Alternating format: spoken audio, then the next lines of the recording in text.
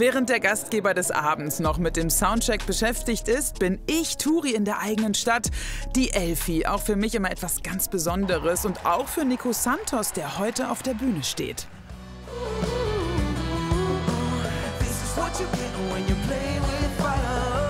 Kurz vor seinem Auftritt verrät mir der 31-Jährige, dass zur Nervosität noch ein weiteres Gefühl kommt.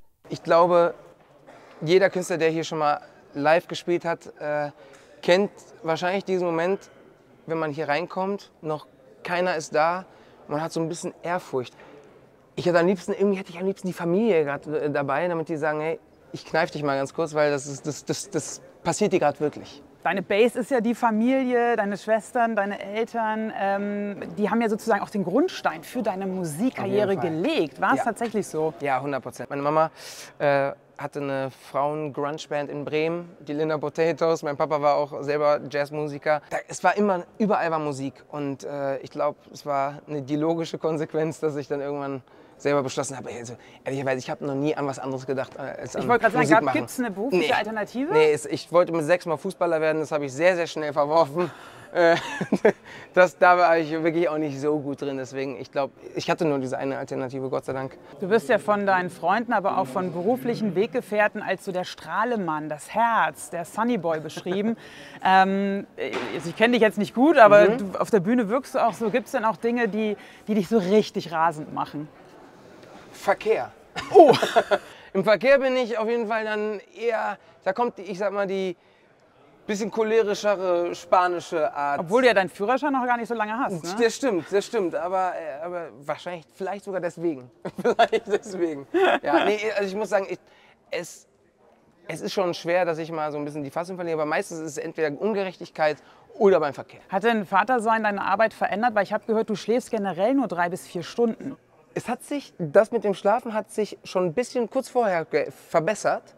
Ähm, und ich muss ehrlicherweise sagen, seitdem ich äh, eine Familie habe oder Familie gegründet habe, läuft es eigentlich sehr, sehr gut mit dem Schlafen. Also ich habe, also man will es nicht so laut sagen, ne? weil, weil es kann sich sofort ändern und so. Bis jetzt ist alles noch sehr entspannt. Nach dem Abitur kommt Nico Santos nach Deutschland zurück, studiert zunächst Tontechnik in Köln, konzentriert sich dann aber auf seine musikalische Karriere.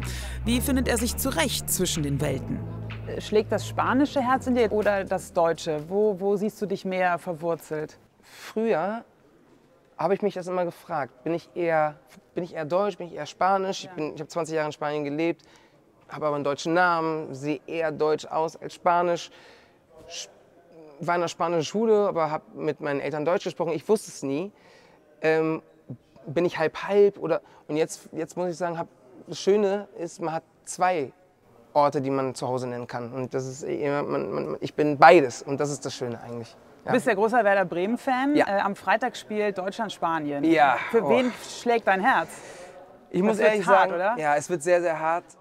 Ich bin natürlich immer, also wenn die nicht gegeneinander spielen, bin ich natürlich immer für den jeweils anderen. Mhm. Aber jetzt Jetzt, ich bin ein bisschen mehr für Deutschland, muss ich sagen. Oh. Ich bin ein bisschen mehr für Deutschland. Wahrscheinlich ich, werden die auch gewinnen. Ich glaube, das wird, äh, das wird eine schwierige Nummer für Deutschland, aber wir bleiben positiv. Gibt es einen Song, auf den du dich am meisten freust, äh, wo du sagst, da, bin ich, da geht mir ein bisschen der Stift, da bin ich richtig nervös? Es gibt eine Nummer, ähm, die habe ich von meinem verstorbenen besten Freund geschrieben, ähm, auf Mallorca damals. Wir waren 14 beide. Ähm, und den mache ich heute das allererste Mal nur mit Streichern. Ich glaube, das ist ein schöner Moment, das ja, hier aufzutragen und, und zu wissen, ey, ich habe ich hab den damals irgendwie geschrieben und, und ähm, jetzt den vor so vielen Leuten zu spielen, ist, ist schon sehr, sehr schön, in so einer Fassung. Ich glaube, er wird es auf jeden Fall hören. Nico, vielen Dank für deine Zeit Danke. und ganz viel Spaß beim Konzert. Vielen Dank. Vielen Dank. Danke sehr.